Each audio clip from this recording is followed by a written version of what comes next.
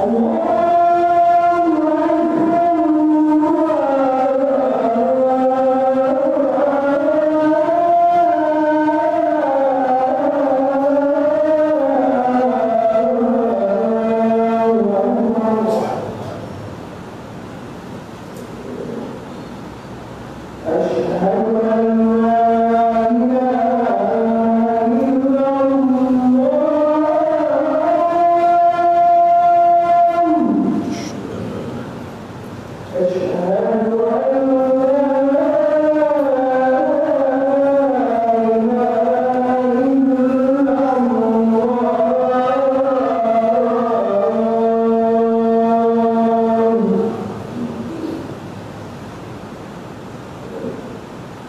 Aisha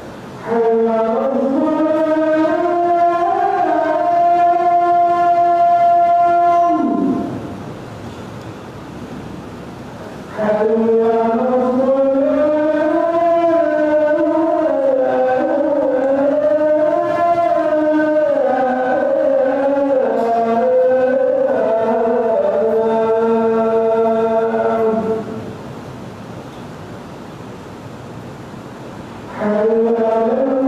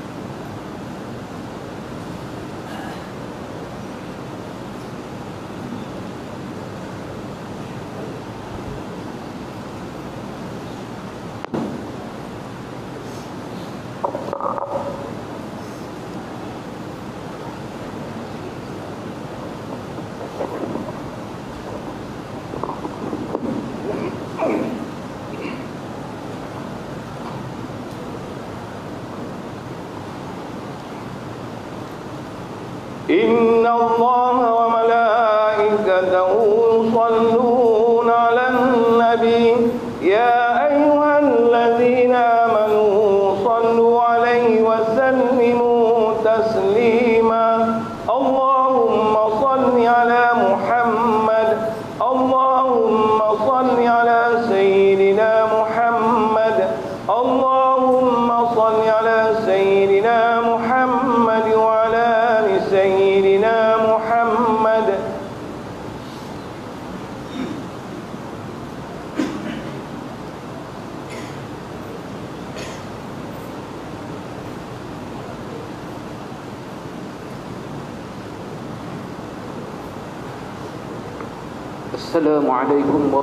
الله وبركاته.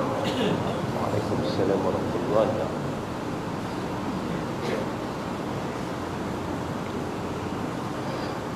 الله أكبر الله أكبر. الله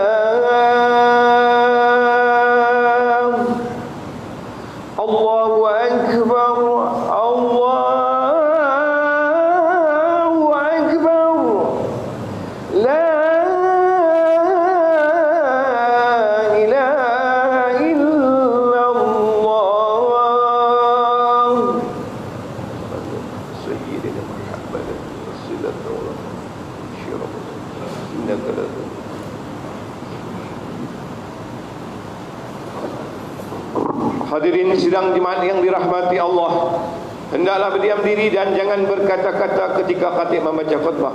Kerana yang demikian itu akan menghilangkan pahala jemaat Sabda Nabi wasallam Iza kunta li sahibika wal imamu yaktub yaumul jemaat Fa'ansif faqad lagaut Rawahu Bukhari wa Muslim an Abi Hurairah radhiyallahu anhu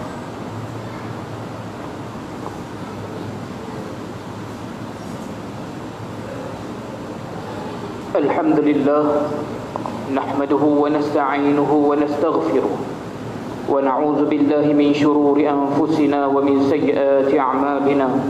من يهده الله فلا مضل له ومن يضلل فلا هادي له. أشهد أن لا إله إلا الله وحده لا شريك له وأشهد أن محمدا عبده ورسوله. اللهم صل وسلم وبارك على سيدنا محمد وعلى آله وصحبه أجمعين. أما بعد فيا عباد الله اتقوا الله. أوصيكم وإياي بتقوى الله فقد فاز المتقون.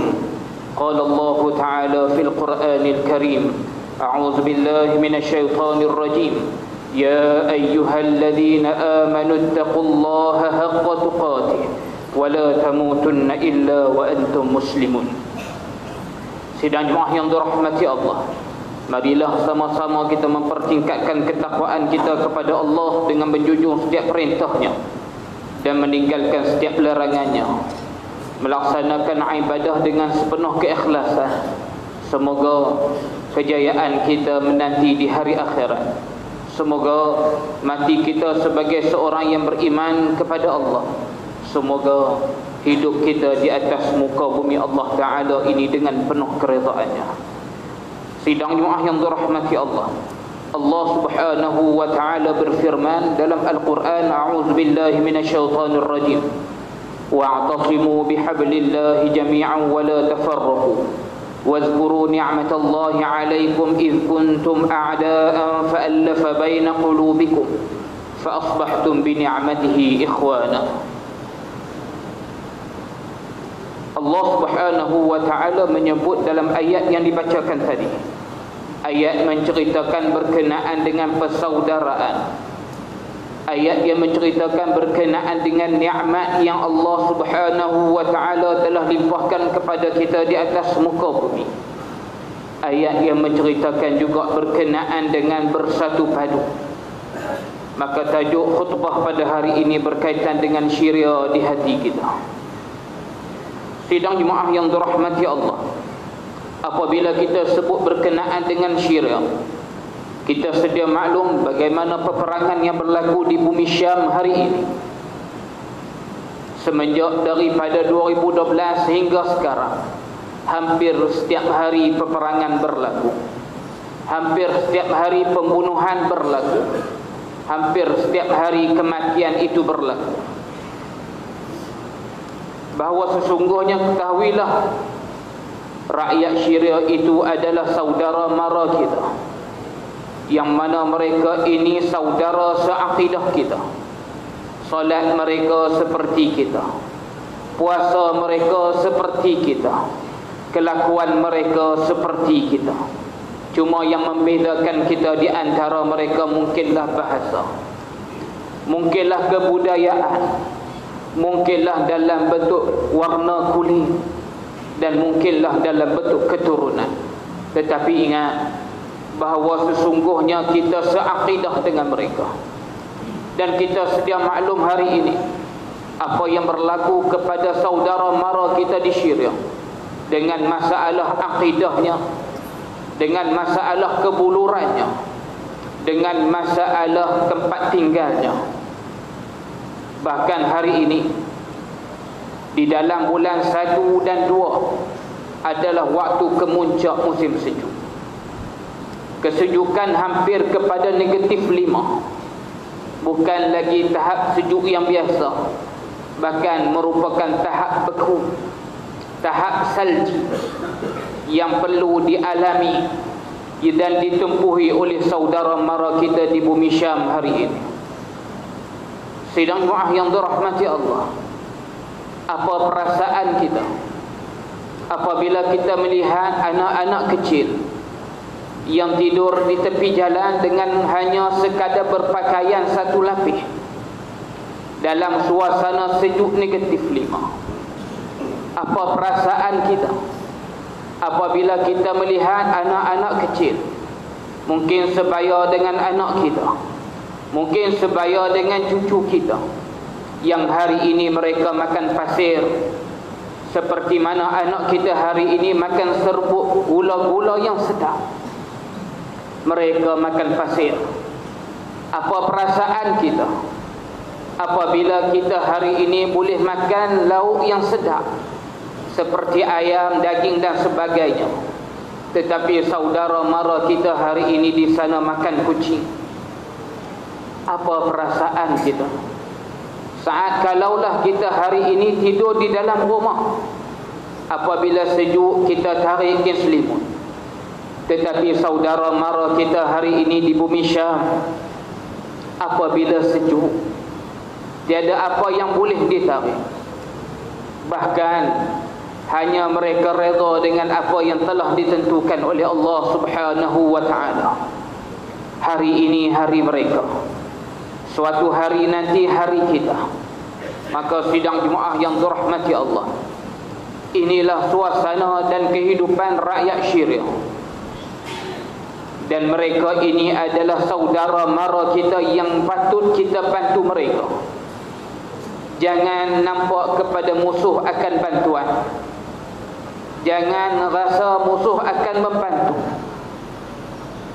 Jangan rasa ada bantuan daripada pihak yang lain.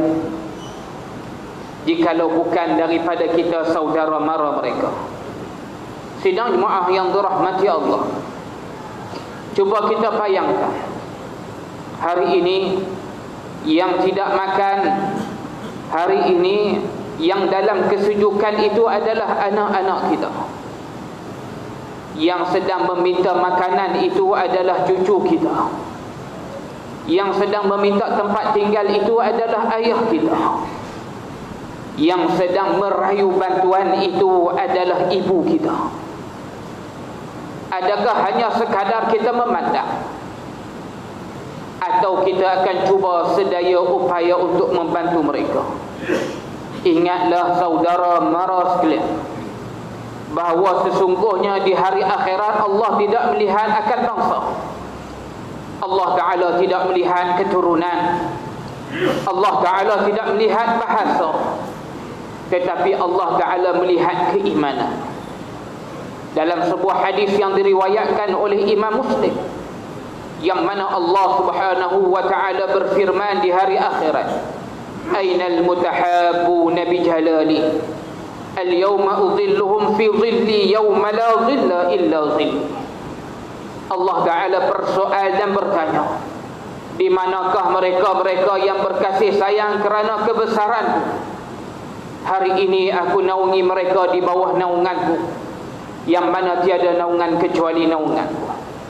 Dalam hadis yang lain Baginda Nabi Muhammad sallallahu alaihi wasallam bersabda la لا تدخلوا hatta tu'minu wa la tu'minu hatta tahabbu atau kama qala an-nabi sallallahu alaihi wasallam rawahu muslim Nabi sallallahu alaihi wasallam bersabda tidak akan masuk ke dalam syurga Allah Subhanahu wa taala sehingga kalian beriman.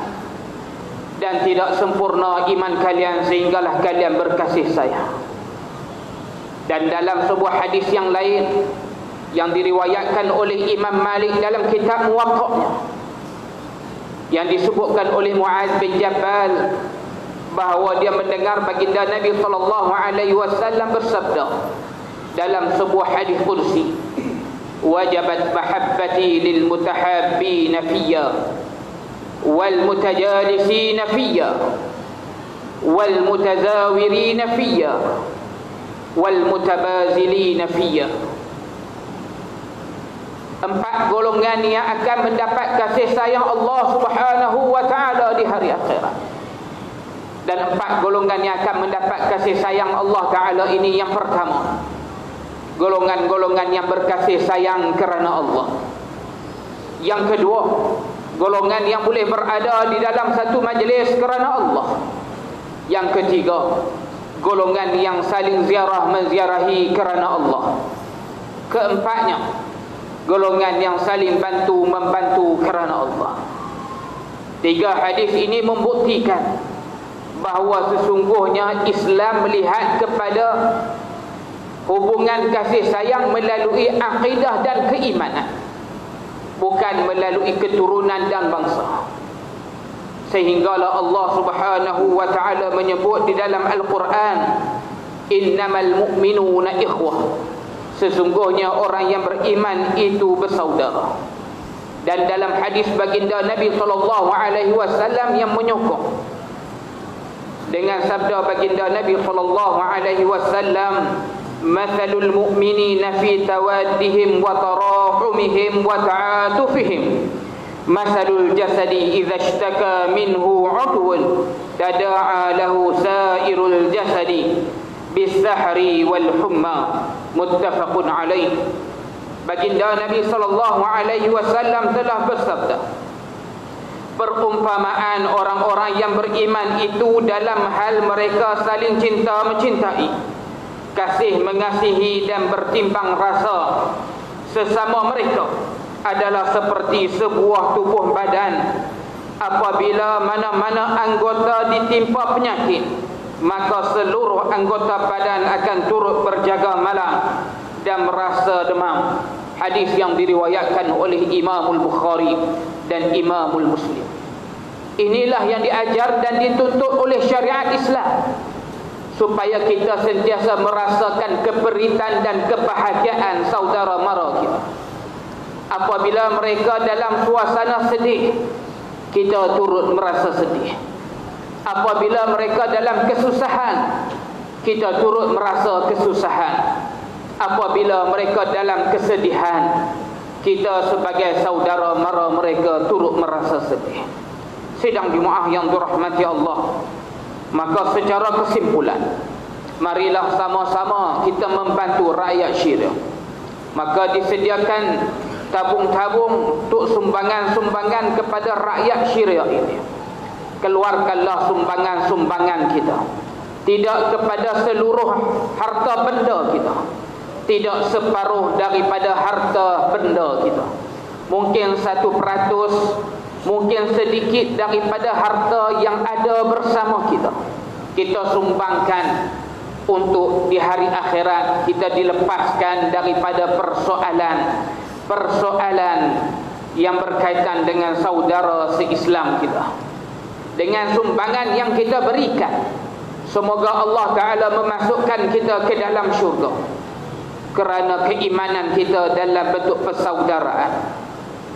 Semoga sumbangan yang kita berikan menjadikan kita daripada kalangan hamba Allah Taala yang dikasihi oleh Allah. Hamba Allah Taala yang dicintai oleh Allah. Atas kebaikan yang sedang yang berusaha bagi kita untuk kita laksanakan. Sidang Jumaat yang dirahmati Allah. Jangan lepaskan peluang ini. Mungkin ini peluang kita untuk masuk ke dalam syurga. Mungkin ini peluang kita untuk kita nak berjawab Menjawab persoalan di hadapan Allah Mungkin ini peluang kita Untuk kita mendapat doa-doa orang yang sedang berada di dalam musibah Bismillahirrahmanirrahim Wal'asr Innal insana lafi khusr Illa alladhina amanu wa amilu salihat Wa bil haqqa وتواصوا بالصبر.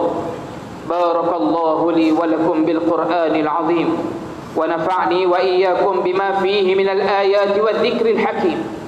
وتقبل مني ومنكم تلاوته إنه هو السميع العليم.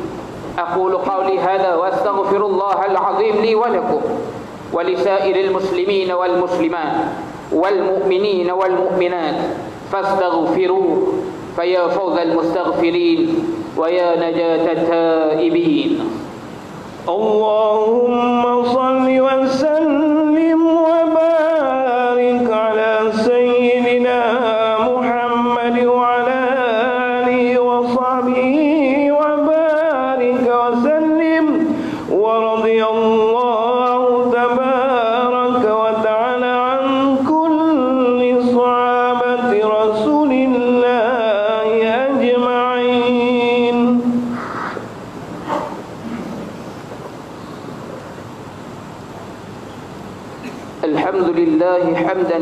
كثيرا كما أمر.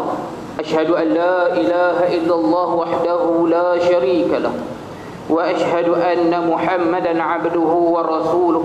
اللهم صل وسلم وبارك على سيدنا محمد وعلى آله وصحبه أجمعين. أما بعد فيا عباد الله فإني أوصيكم ونفسي بتقوى الله. علي العظيم فاتقوه لعلكم تفلحون اتقوا الله من استطاع اتقوا الله من سماع اللغو وفضول الخير وانتهوا عما نهاكم عنه وزجر فقال الله تعالى في القرآن الكريم أعوذ بالله من الشيطان الرجيم يا أيها الذين آمنوا اتقوا الله ولتنظر نفس ما قدمت لغد واتقوا الله إن الله خبير بما تعملون Sidang Jumaah yang dirahmati Allah Sekali lagi saya berpesan kepada diri saya dan sidang Jumaah sekalian Marilah sama-sama kita mempertingkatkan ketakwaan kita kepada Allah Menjunjung setiap perintah Ikhlaskan amalan hanya kerana Allah Semoga kejayaan kita di dunia. Semoga kejayaan kita juga di hari akhirat. Dan di hari yang baik ini Sayyidul Ayyam marilah sama-sama kita mempertingkatkan amal kebajikan kita. Terutamanya sedekah-sedekah kita. Ingatlah hadirin yang dirahmati Allah harta benda dunia tidak boleh dibawa kepada akhirat. Tetapi yang kita bawa adalah amalan yang kita bawa adalah pahala. Yang kita bawa adalah bekalan yang kita cari dengan amal ibadah kita di dunia. Maka marilah sama-sama kita memperbanyakkan infak-infak kita di hari yang baik ini. Biar habis harta dunia untuk akhirat. Biar habis harta dunia untuk bekalan. Biar susah kita di dunia senang akhirat kita untuk masuk ke dalam syurga Allah Subhanahu wa taala. Dan di hari yang baik ini juga marilah sama-sama kita memperbanyakkan selawat ke atas baginda Nabi Muhammad sallallahu alaihi wasallam seperti mana yang dianjurkan oleh Allah taala di dalam Al-Quran. Innallaha wa malaikatahu yusalluna 'alan nabi يا أيها الذين آمنوا صلوا عليه وسلموا تسليما. اللهم صل وسلم على سيدنا محمد وعلى آله وأصحابه أجمعين. وارض اللهم عن الخلفاء الراشدين. ساداتنا أبي بكر وعمر وعثمان وعلي وعن بقية الصحابة والقرابة والتابعين ومن تبعهم بإحسان إلى يوم الدين. اللهم اغفر للمسلمين والمسلمات والمؤمنين والمؤمنات الأحياء منهم والأموات. إنك سميع قريب مجيب الدعوات. يا قاضي الحاجات. يا رب العالمين. اللهم اجعل هذا بلد آمنا مطمئنا. اللهم اصلح أئمتنا وولاة أمورنا. واشمل اللهم بعنايتك وتوفيقك جلالة الملك مولانا الأمين الكريم السلطان صلاح الدين. ابن almarhum Sultan Badli Shah wa wali ahdihi duli yang teramat mulia Tengku Syarafuddin Badli Shah ibni Sultan Salahuddin wa jami'al usratil malakiyah Allahumma waffiqhum lissadadi wa aslih bihimul ibadi wa aslih bihimul ibada wal bilad waj'al taqwa lahum khayra zad innaka raufur rahimun jawad ya لطيفا بالعباد يا أرحم الراحمين. اللهم انصر الإخواننا المسلمين والمجاهدين والمستضعفين في غزة وفي فلسطين وفي سوريا وفي مصر وفي برما. وفي رحنيا وفي كل مكان وفي كل زمان وفي كل بلاد المسلمين. ربنا آتنا في الدنيا حسنة وفي الآخرة حسنة وقنا عذاب النار. عباد الله إن الله يأمر بالعدل والإحسان وإيتاء ذي القربى وينهى عن الفحشاء والمنكر والبغي. يعظكم لعلكم تذكرون. فاذكروا الله العظيم يذكركم واشكروه نعم نعمه يزدكم واسألوه من فضله يعطيكم ولذكر الله أكبر والله يعلم ما تصنعون